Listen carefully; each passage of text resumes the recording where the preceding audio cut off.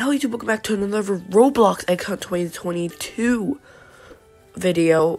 They released three new eggs today, the premium egg, the Book of Knowledge egg, I believe it's called, and then the lantern egg. So all premium users who have purchased premium should have a free launcher in their inventory.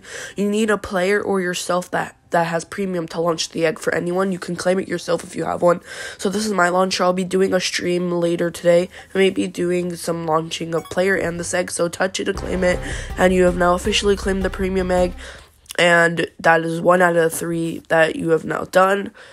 So it's that simple to get this egg. That's all you need to do to do it as well. So um, I guess there's nothing much to say except thank you guys so much for watching this tutorial video. Like and subscribe for the two other ones. One of them is pretty annoying to get, so I'll see you guys next time. See ya!